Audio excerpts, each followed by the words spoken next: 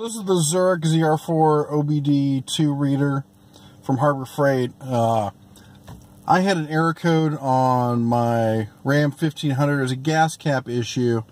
We fixed the gas cap. The gas cap warning on the on the dash had gone away, uh, but it had still thrown the uh, check engine light.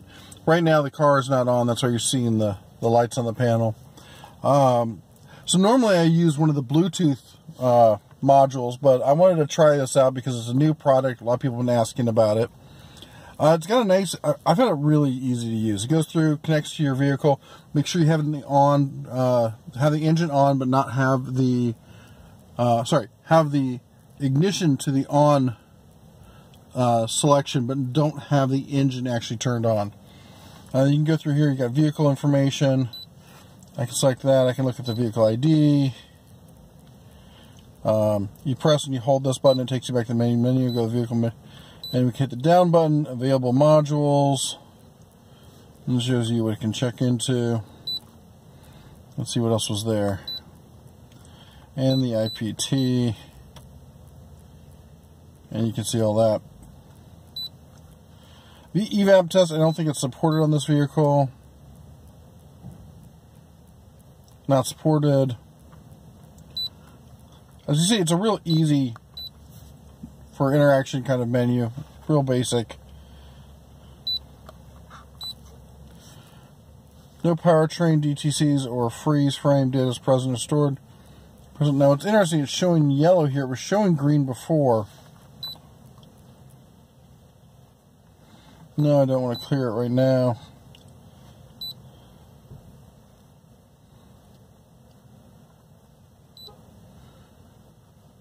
Now if I did want to clear it, I would press that the red button, select and hit enter, and it'll be erasing the DTCs.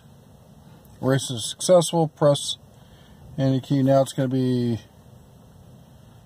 connecting back to the link.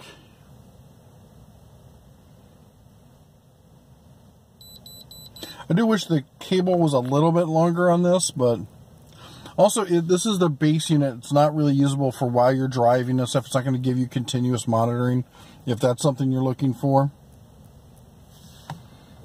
I'm interested in why it's showing me yellow on my smog when just a few minutes ago it was showing me green.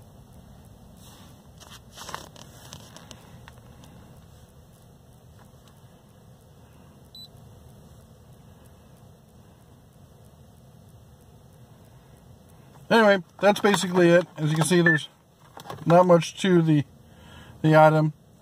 Uh, I was able to use a 25% off coupon, or I'm sorry, 20% off coupon on it, uh, because the coupon I had didn't currently say Zurich on it. Of course, it doesn't list. Messaging is not supported on the current phone. Oh my gosh. For device compatible. Be quiet. sorry, it's my car talking to me. Anyway, this is just a little bonus video for you guys. Yeah, no bear today. Sorry. I'm down here uh, in uh, in Southern California. Anyway, there you go, the Zurich ZR4. If you're looking for something quick and easy, they have a lot. As this is said, this is the base model. They have a lot more options, and they get a lot more uh, techy as they go up. But that's something you're looking for, it's not a bad option. I do recommend using the 20% off coupon if you can. Take care, guys. Shine on.